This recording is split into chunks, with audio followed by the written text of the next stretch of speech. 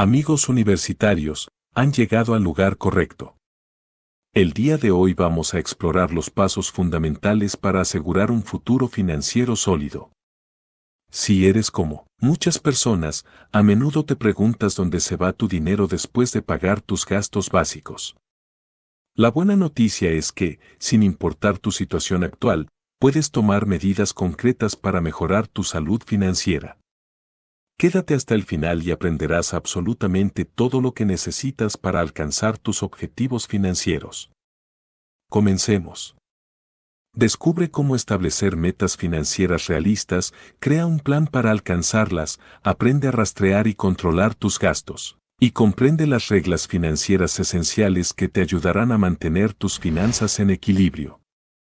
Sin más preámbulos, empecemos con estos seis pasos para asegurar un futuro financiero seguro.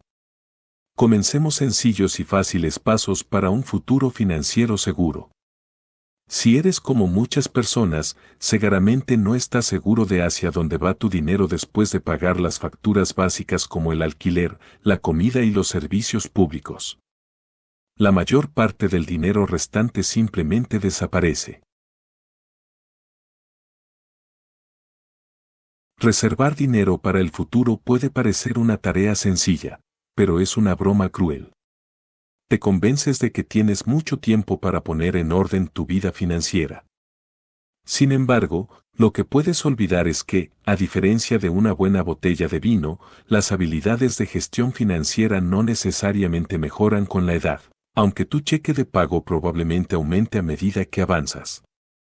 Con el tiempo, tus obligaciones financieras también crecerán en consecuencia. La buena noticia es que si comienzas a prestar atención a tus finanzas hoy, podrás desarrollar hábitos que te beneficiarán durante el resto de tu vida. Este video te ayudará a organizarte. Primero, ponle precio a tus objetivos. Como muchos de nosotros, es probable que tengas uno o dos sueños financieros específicos que te encantaría lograr en los próximos años. Tal vez quieras comprar un automóvil cuando tengas 28 años. Tal vez esperas ser dueño de una casa cuando tengas 32 años. Podrías soñar con el día en que finalmente estés libre de deudas de tarjetas de crédito o cuando hayas pagado todos tus préstamos estudiantiles. O simplemente podrías aspirar a mudarte de la casa de tus padres lo antes posible. El primer paso para convertir tus deseos financieros en metas alcanzables es determinar el valor en dólares de tus sueños. Puede parecer poco romántico, pero incluso los sueños tienen un precio. Espero que estés disfrutando de estos consejos para asegurar tu futuro financiero. Antes de continuar, te animo a que te suscribas a nuestro canal para no perderte futuros videos llenos de consejos útiles. Si encuentras útil esta información, no olvides darle like a este video para que más personas puedan beneficiarse de ella. Si has llegado hasta aquí, recuerda comentar la frase, conquisto mi futuro, para empezar tu camino de tomar control de tu vida y ganar lo que mereces. Ahora, sigamos adelante y exploremos los siguientes pasos para lograr una mayor seguridad financiera. En segundo lugar, comprende cómo lograr tus metas. Bien, has definido tus metas, ahora es el momento de crear una hoja de ruta para alcanzarlas. Empieza por determinar cuánto necesitas ahorrar cada mes para acumular una cantidad específica de dinero en un número predeterminado de años. Por ejemplo, si deseas ahorrar mil dólares en tres años, necesitarás reservar aproximadamente 28 dólares al mes. Naturalmente, es bueno ahorrar la cantidad mensual. Es posible que no te desanimes, sin embargo, si eres como la mayoría de las personas, es posible que tengas que ahorrar más de lo que inicialmente pensaste que podías permitirte. No te desanimes. En tercer lugar, hazte esta pregunta, ¿dónde va a parar mi dinero? El dinero puede ser como correr un maratón para la mayoría de las personas, no es fácil, especialmente cuando vives de cheque en cheque. Pero el hecho es que probablemente puedas ahorrar incluso si crees que apenas llegas a fin de mes. El primer paso es descubrir dónde se está yendo tu dinero. Sé que suena como un dolor de cabeza, pero vale la pena.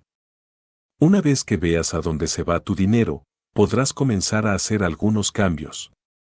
Recomiendo llevar un diario de gastos durante un mes y realizar un seguimiento de cada gasto, sin importar cuán pequeño sea. Esto te obligará a prestar atención a tus gastos y ver dónde puedes recortar. Puedes usar una aplicación para realizar un seguimiento de tus gastos o simplemente llevar un cuaderno o usar la función de notas en tu teléfono, lo que sea que funcione para ti. Una vez que hayas realizado un seguimiento de tus gastos durante un mes, tendrás una idea bastante clara de a dónde va tu dinero y podrás comenzar a hacer algunos cambios. Puedes dejar de comer fuera de casa o tal vez puedes cancelar esa membresía de gimnasio no utilizada. Te sorprenderá la cantidad de dinero que puedes ahorrar. Sé que no es fácil, pero vale la pena. Ahorrar dinero te brinda tranquilidad y te brinda más opciones en la vida. ¿Qué estás esperando? Comienza a realizar un seguimiento de tus gastos hoy. Sobre las reglas financieras generales número 1, la regla de la deuda. Tus pagos de deuda, excluyendo tu hipoteca, deben ser menos del 20% de tu salario neto mensual. Esto significa que si ganas 3 mil dólares al mes, tus pagos totales de deuda no deben ser más de 600 dólares. Pero esta regla es un poco complicada. Si solo estás haciendo los pagos mínimos de tu deuda, técnicamente podrías estar cumpliendo con esta regla, pero todavía tendrías muchas deudas. Por ejemplo, si debes 20 mil dólares en tarjetas de crédito y tu pago mensual mínimo es de 450 dólares, técnicamente estás cumpliendo con la regla del 20%, pero te llevaría más de 30 años pagar esa deuda y terminarías pagando mucho más en intereses. Así que es una regla mejor. La regla general es asegurarse de que el saldo de tu deuda impaga, que es la cantidad que debes después de realizar tus pagos mensuales, no supere el 20% de tu salario neto anual. Número 2. La regla de vivienda. No debes gastar más del 30% de tu salario neto mensual en pagos de alquiler o hipoteca. Si vives en una ciudad importante, esto puede ser imposible de lograr a menos que tengas compañeros de cuarto, pero si vives en un pueblo más pequeño o en una ciudad más asequible, es un buen objetivo apuntar a un 30%. Número 3. La regla del ahorro. Debes ahorrar al menos el 15% de tu salario neto cada mes. Este es dinero que reservas para tu futuro, ya sea para el pago inicial de una casa, la jubilación o cualquier otra cosa. Es importante pensar en tus ahorros como un gasto mensual fijo, al igual que el alquiler y los pagos de tu auto. Y ahí lo tienen, amigos, estos son los seis pasos clave para asegurar un futuro financiero seguro.